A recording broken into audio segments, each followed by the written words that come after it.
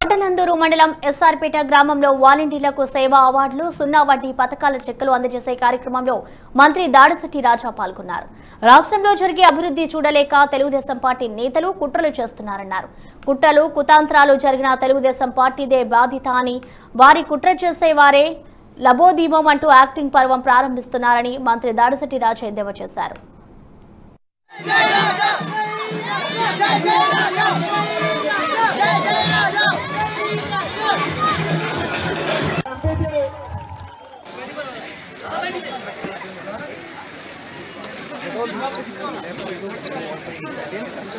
మంచి రాజకీయాల భవిష్యత్తు మరి అందరికీ రవి శ్రీనివాస్ గారు ఈ సభను మొత్తం సొమ్మంతా అక్కడ బస్సు ఇచ్చే పవన్ ప్రాజెక్ట్ బస్సు పాట పాట పాడించిన నాలుగు వందల కోట్లు.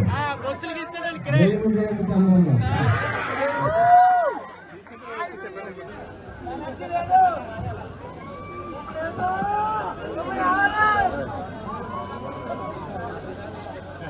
いろんなことやるんですよ。